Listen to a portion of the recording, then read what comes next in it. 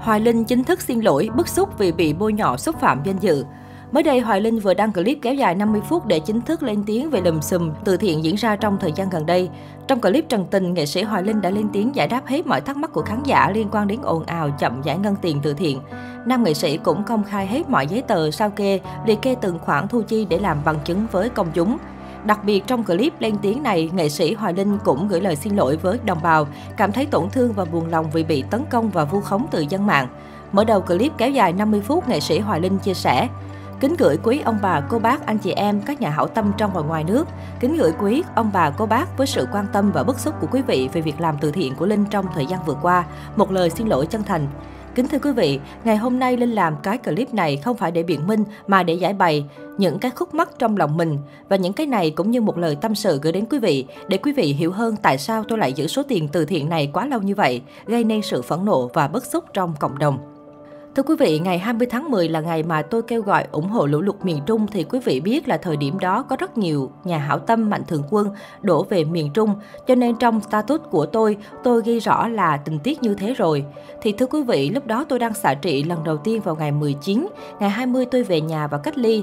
Trong lịch trình cách ly của tôi về xạ trị là 15 ngày, tôi nằm trong phòng suốt. Khi nào không có ai thì đi ra vì sợ ảnh hưởng tới sức khỏe mọi người. Nói về lý do giải ngân tiền cứu trợ bão lũ giữa mùa dịch bệnh, nghệ sĩ Hoài Linh chia sẻ, Tại sao tôi lại giải ngân trong thời điểm này? Có rất là nhiều ý kiến gửi đến cho tôi vì tình hình dịch bệnh bây giờ cũng khá căng thẳng và phức tạp. Nhà nước cũng chủ động kêu gọi mọi người phòng chống dịch nên tôi chưa biết mình đi được trong thời gian nào sớm nhất.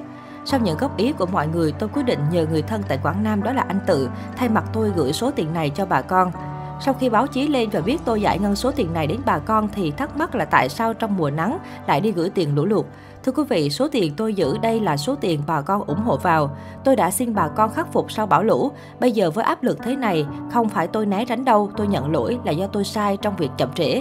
Kính thưa quý vị, sự giải trình này không phải là biện minh, tôi muốn nói để cho những người yêu thương hiểu được tôi và những ai góp ý phê phán thông cảm thêm cho tôi. Tôi nhận ra lỗi lớn là chủ quan. Làm từ thiện không phải là việc đơn giản và dễ dàng. Để làm từ thiện tốt không phải muốn là được. Tôi không lường trước được sự khó khăn và phức tạp trong công việc làm từ thiện này, dẫn đến hậu quả ngày hôm nay. Tôi xin chân thành xin lỗi quý vị. Đặc biệt trong clip, nghệ sĩ Hoài Linh chia sẻ ông rất bức xúc khi bị một số người vu khống bôi nhọ danh dự và gán tội biển thủ tiền từ thiện.